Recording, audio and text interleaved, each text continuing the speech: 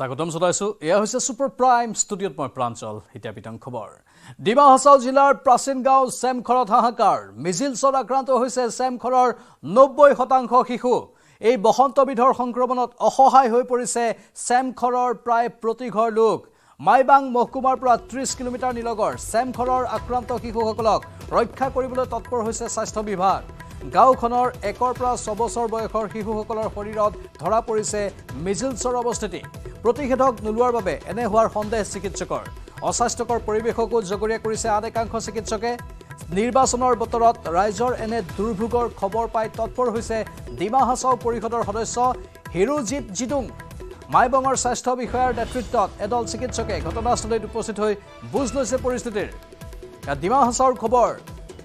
আৰু ডিমা হাছাওৰ প্ৰাচীন গাঁও চেমখৰত এতিয়া হাহাকাৰ পৰিস্থিতি। ইতিমধ্যে বৰ্ণনাখিনি বা তথ্যখিনি আমি আপোনালোকক দিছোঁ সামগ্ৰিক খবৰটো আপোনালোকক জনাইছোঁ। এই অৱস্থা হৈছে এই গাঁওখনৰ লোকসকলৰ বহু লোক স্বাস্থ্যকেন্দ্ৰৰ বাহিৰত শাৰী পাতি ৰৈ থকা দেখিবলৈ পোৱা গৈছে। মিজিলছত আক্ৰান্ত হৈছে চেমখৰৰ নব্বৈ শতাংশ শিশু। এবিধ বসন্ত ৰোগ আৰু এই বসন্তৰ সংক্ৰমণতেই অসহায় হৈ পৰিছে চেমখৰৰ প্ৰায় প্ৰতিঘৰ লোক। মাইবাং মহকুমাৰ পৰা ত্ৰিছ কিলোমিটাৰ নিলগৰ চেমখৰৰ আক্ৰান্ত শিশুসকলক ৰক্ষা কৰিবলৈ এতিয়া স্বাস্থ্য বিভাগ তৎপৰ হৈ পৰিছে। গাঁওখনৰ একৰ পৰা ছয় বছৰ বয়সৰ শিশুসকলৰ শৰীৰত ধৰা পৰিছে মিজিলছৰ অৱস্থিতি। প্ৰতিষেধক নোলোৱাৰ বাবে এনে হোৱাৰ সন্দেহ কৰিছে চিকিৎসকে। অস্বাস্থ্যকৰ পৰিৱেশকো জগৰীয়া কৰিছে আন একাংশ চিকিৎসকে। নিৰ্বাচনৰ বতৰত ৰাইজৰ এনে দুৰ্ভোগৰ খবৰ পাই তৎপৰ হৈ পৰিছে ডিমা হাছাও পৰিষদৰ সদস্য হিৰোজিত জিডুং মাইবঙৰ স্বাস্থ্য বিষয়াৰ নেতৃত্বত এদল চিকিৎসকে ঘটনাস্থলীত উপস্থিত হৈ বুজ লৈছে পৰিস্থিতিৰ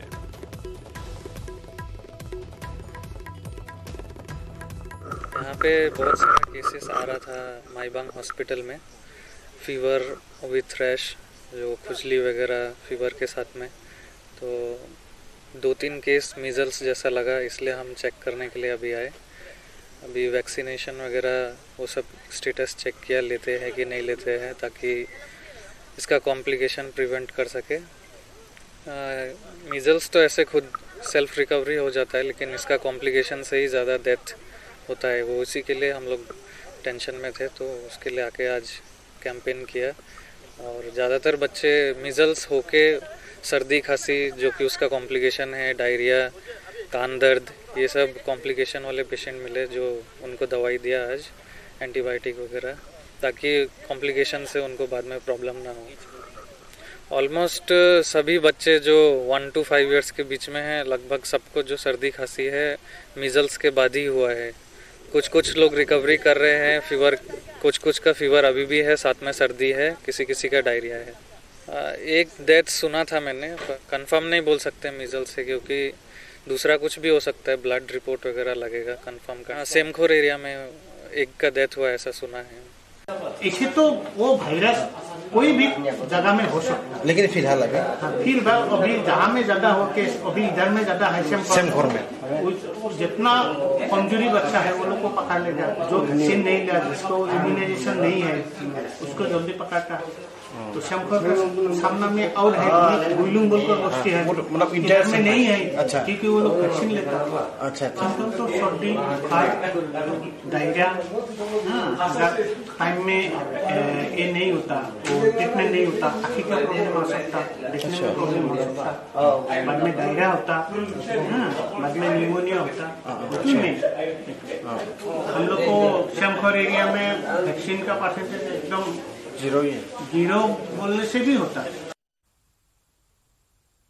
নিৰ্বাচনী প্ৰচাৰৰ মাজতে চি এ এ আন্দোলনক লৈ সৰব হ'ল মুখ্যমন্ত্ৰী হিমন্ত বিশ্ব শৰ্মা।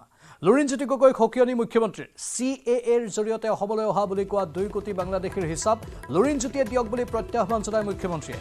আনহাতে চি এ এৰ শ্বহীদৰ ঘৰলৈ গৈ লুৰিণজ্যোতিক ক্ষমা খোজাৰ প্ৰত্যাহ্বান জনালে মুখ্যমন্ত্ৰী হিমন্ত বিশ্ব শৰ্মাই। লুৰিণ গগৈ মনোজ ধানোৱাৰ কংগ্ৰেছ এওঁলোকে কি কৈ আছিল যে অসমত কাহ হ'লে দুই কোটি মানুহ সোমাব। এতিয়াতো মই তেওঁলোকৰ ঘৰত চিঠি লিখিম যে মোক কাহটো হৈ গ'ল দুই কোটি ক'ত গ'ল মোক লাগে এতিয়া হিচাপ। লুৰিণজ্যোতি গগৈৰ নেতৃত্বত পাঁচজন শ্বহীদৰ মৃত্যু হ'ল। ভুৱা কথাত যে কাহ আহিলে দুই কোটি মানুহ আহিব। এতিয়া এই পাঁচজন শ্বহীদক জীৱন কোনে দিব? ইলেকশ্যনত তেওঁ হাৰা জিকা বাদ দিয়ক। ইলেকশ্যন হোৱাৰ পিছত মই তেওঁৰ ঘৰত চিঠি লিখিম যে আপুনি দুই কোটিৰ হিচাপটো দেখাওক। গাঁৱে ভূঞে ক'ত দুই কোটি সোমালে। যোৱাবাৰ কা আন্দোলন কৰি অসমক কিমান ক্ষতি কৰিলে নহ'লে সোণোৱালৰ দিনতে আমি অসমখনক সজাই পৰাই তুলিছিলোঁ। জাপানৰ প্ৰধানমন্ত্ৰীক আহিব নিদিলে। গতিকে এতিয়া মোক পুৰা দুই কোটিৰ হিচাপ লাগিব। যে দুই কোটি মানুহ ক'ত গ'ল ক'ত আহিলে? আজি কাহ হোৱা ডেৰ মাহ হৈ গ'ল। এপ্লিকেশ্যনেই নাই। বাৰে বাৰে এনেকে আন্দোলন কৰিব মানুহ মৰুৱাব এইটোতো হ'ব নোৱাৰে। গতিকে এইবাৰ মই ভাল কৰি ধৰিম।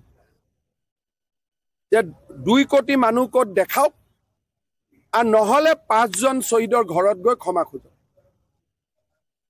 সেইকাৰণে এইবিলাক আপোনালোকে দুদিন পিছত লুৰিণজ্যোতি গগৈ সুধিব যে দুই কোটি ক'ত গ'ল?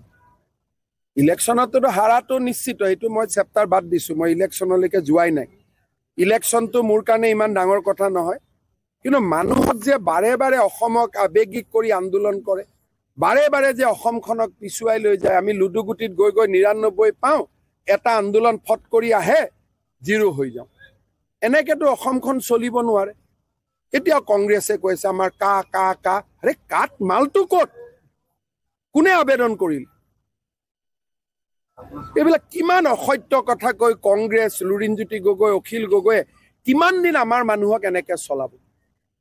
কিমান দিন? মোক গালি পাৰি আছিল ইমান দিন কা আনি অসম চেচ কৰি দিলে। এতিয়া কা অনাৰ পিছত অসমৰ কি অসুবিধা হ'ল? গহপুৰত কোনোবা সোমাল নেকি নতুন মানুহ? কিয় ৰাজপথত ওলাইছিলো আমি? নে গুৱাহাটীতে সোমাল? নে শিৱসাগৰতে সোমাল? নে মানকাছাৰতে সোমাল? কিয় আমাক এনেকে আন্দোলনমুখী কৰিছিল? তাৰ জবাবটো কোনেও নিদিয়ে।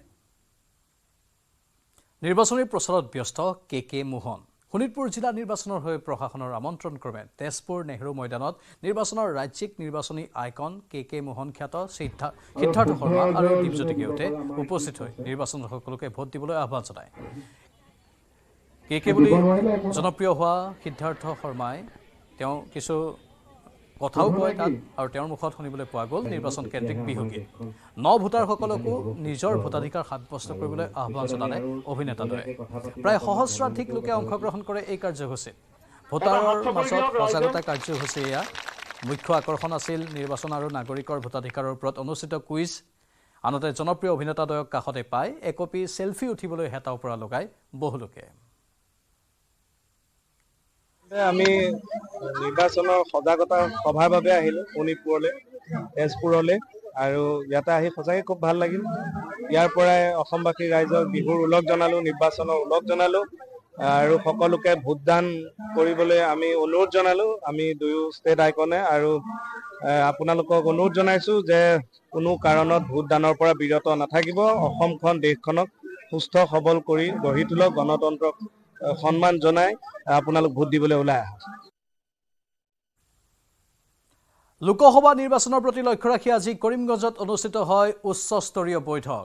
অসম মিজোৰাম আৰু ত্ৰিপুৰাৰ তিনিখন চুবুৰীয়া জিলাৰ আৰক্ষী অধীক্ষকৰ উপস্থিতিত কৰিমগঞ্জ আৰক্ষী অধীক্ষক কাৰ্যালয়ত এই গুৰুত্বপূৰ্ণ বৈঠকখন অনুষ্ঠিত হয়। বৈঠকত ত্ৰিপুৰাৰ উত্তৰ জিলাৰ আৰক্ষী অধীক্ষক ভানুপত চক্ৰৱৰ্তী মিজোৰাম ৰাজ্যৰ মমিত জিলাৰ আৰক্ষী অধীক্ষক অপু খানপুই আৰু অসমৰ কৰিমগঞ্জ জিলাৰ আৰক্ষী অধীক্ষক পাৰ্থ প্ৰতিম দাস উপস্থিত থাকে। বৈঠকত তিনি ৰাজ্যৰ সীমান্তত তালাচী অতি কঠোৰ কৰাৰ সিদ্ধান্ত গ্ৰহণ কৰাৰ লগতে বহু গুৰুত্বপূৰ্ণ আলোচনা তাত অনুষ্ঠিত হয়।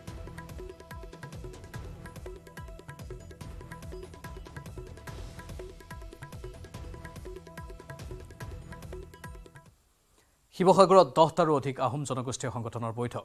যোৰহাটৰ কংগ্ৰেছ প্ৰাৰ্থী গৌৰৱ গগৈৰে হ'বলগীয়া সভা বৰ্জনৰ সিদ্ধান্ত লৈছে তেওঁলোকে। আটাচু টাইপা আহোম সভা আহোম জাতীয় গণমঞ্চসহ দহ সংগঠনৰ বৈঠকত এই সিদ্ধান্ত।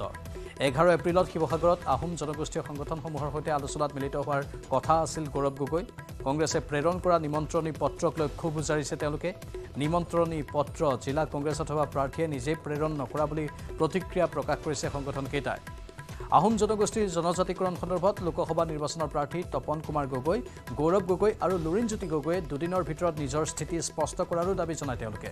অন্যথা বাৰ এপ্ৰিলত আহোম সংগঠনকেইটাই কঠোৰ স্থিতি ল'ব বুলি সকিয়নি প্ৰদান কৰে।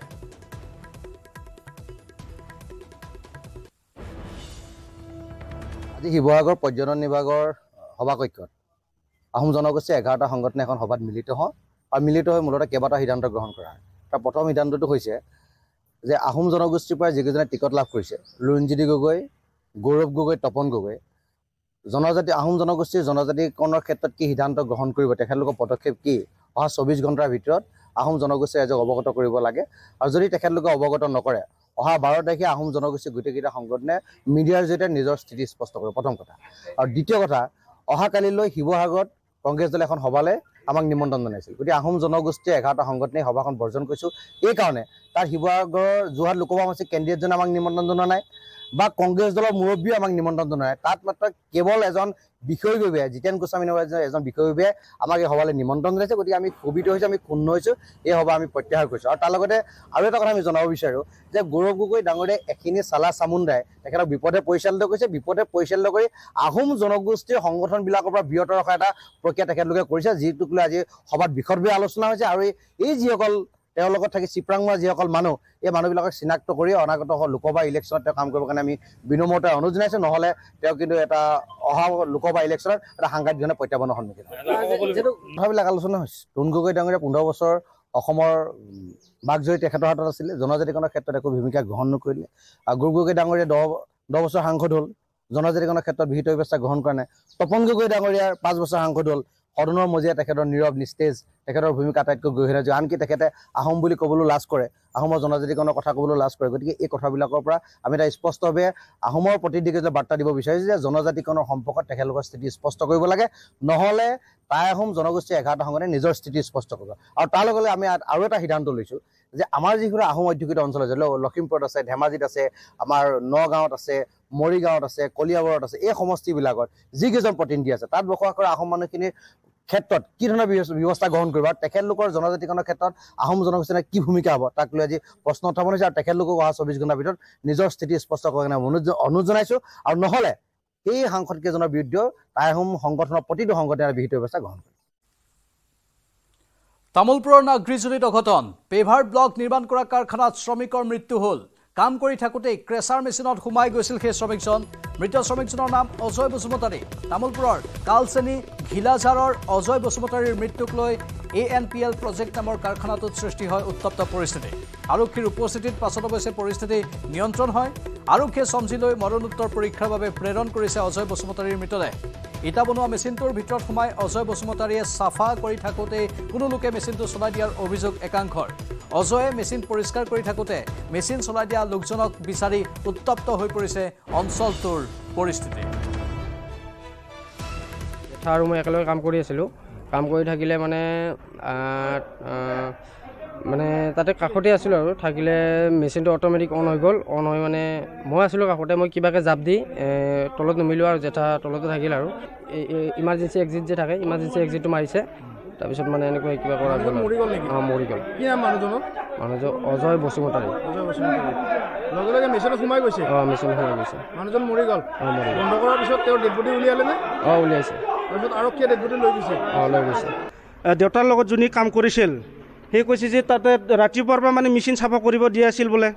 দেউতাই মেচিনটো চাফা কৰি আছে। মেচিনটো অবে আছিল। তাৰপিছত কোনোবা যাই এইখিনি মেচিনটো অন কৰি দিছে। তেওঁলোকৰ গাফিলতি এইবিলাক। অঁ সেইটোৱেইতো। নহ'লেতো কেনেকুৱা মেচিনটো অন অকলে কেনেকৈ হ'ব? হয়নে নহয়? অঁ চাফা কৰি আছিল বোলে আমাৰ দেউতাই। কাম কৰি থাকোঁতে অঁ কাম কৰি থকা যে কোনোবা অন কৰি দিছে। আপোনাৰ দেউতা হয়? হয় মোৰ দেউতা হয়। কাম কৰি থাকোঁতে কোনোবাই মেচিনটো চলাই দিলে যাৰ পৰিণতিত কৰুণ মৃত্যু সাৱটি ল'লে সেই শ্ৰমিকজনে। এক ভয়ংকৰ ঘটনা সংঘটিত হৈছে নাগৰিজুলিত পেভাৰ ব্লক নিৰ্মাণ কৰা কাৰখানাত শ্ৰমিকৰ মৃত্যু হৈছে।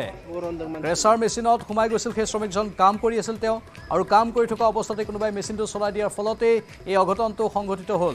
আমাৰ সাংবাদিক নয়নজ্যোতি দাস আছে ফোন লাইনত নয়নজ্যোতি এতিয়া যিহেতু কেইবা ঘণ্টাও অতিক্ৰম কৰি গৈছে পৰিস্থিতি শান্ত সম্পূৰ্ণৰূপে হৈছেনে আৰু কি কি তথ্য আছে আপোনাৰ লগত হয় প্ৰাঞ্জল তামোলপুৰ জিলাৰ নাগজুলিৰ বৰনদীৰ পাৰত অৱস্থিত অনুপম নিৰ্মাণ প্ৰাইভেট লিমিটেড প্ৰজেক্ট নামৰ ব্ৰিক প্লেণ্টৰ ইটা বনোৱা মেচিনত কৰ্মৰত অৱস্থাত থকা যি শ্ৰমিকৰ কৰুণ মৃত্যু হৈছে তাক লৈ প্ৰথমে পৰিস্থিতি যথেষ্ট ভয়াৱহ হৈছিল। স্থানীয় ৰাইজে উত্তেজনাৰ সৃষ্টি কৰিছিল।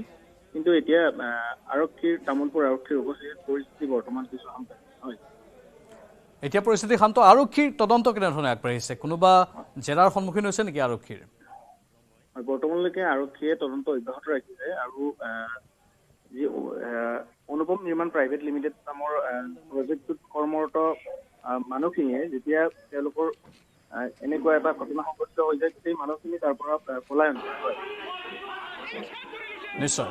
ধন্যবাদ জনাইছোঁ নয়নজ্যোতি দাস এইখিনি তথ্যৰ বাবে।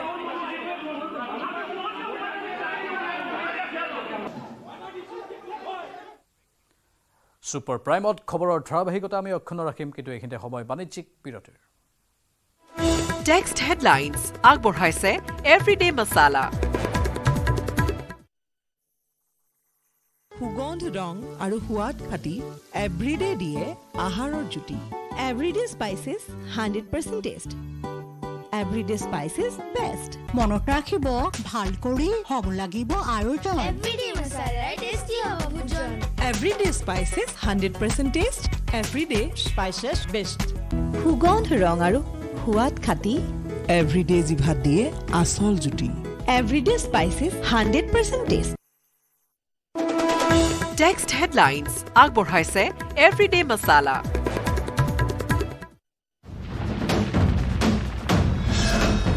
S A super prime তেজপুৰত আম আদমী পাৰ্টীৰ ৰোড শ্ব'ত ষ্টাৰ কেম্পেইনাৰৰ ৰূপত দেখা গ'ল দিল্লী চৰকাৰৰ শিক্ষামন্ত্ৰী আতি সিং।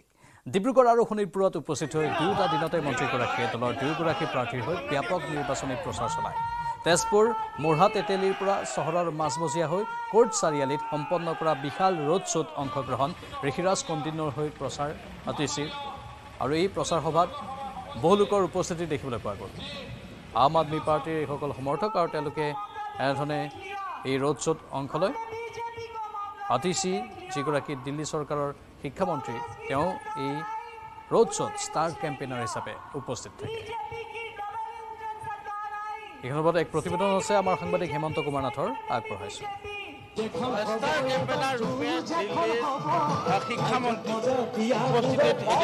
দেখা গৈছে। আম আদমী পাৰ্টীৰ এয়া বৃহৎ ৰোড শ্ব' আৰু বৃহৎ সংখ্যক দলীয় সমৰ্থকক লগত লৈ এতিয়া এনেদৰে আপৰ প্ৰাৰ্থী ঋষিৰাজ কণ্ডিনয় এনেদৰে দেখিছে দেখুৱাইছোঁ আমি প্ৰচাৰ অভিযানত ভাগ লৈছে আৰু এয়া হৈছে তেজপুৰৰ পৰা আমি পৰিৱেশ দেখুৱাইছোঁ আৰু তেজপুৰ তেতেলীৰ পৰা চহৰখনৰ মাজেৰে এনেদৰে এতিয়া দেখা গৈছে প্ৰাৰ্থীগৰাকী প্ৰচাৰ আহ, অংশগ্ৰহণ কৰিছে।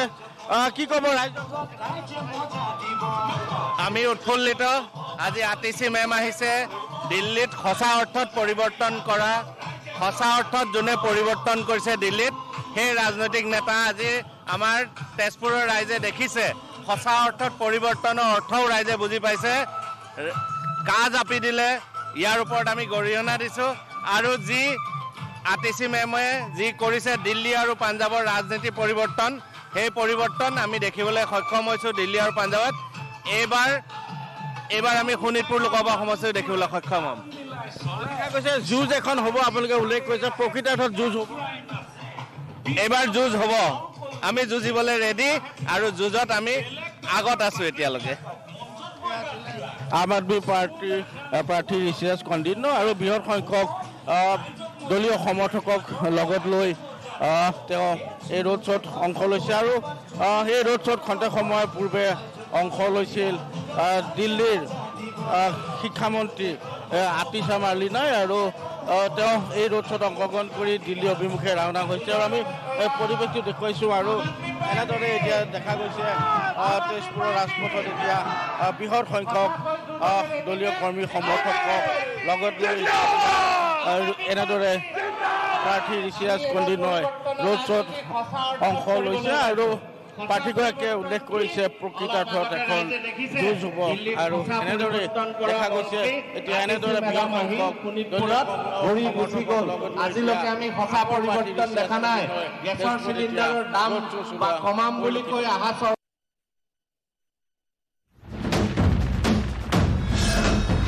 ভাৰতৰ গৌৰৱ গোটেই বিশ্বতেই ইয়াৰ সন্মান ষ্ট্ৰং মানে মাইথান ষ্টীল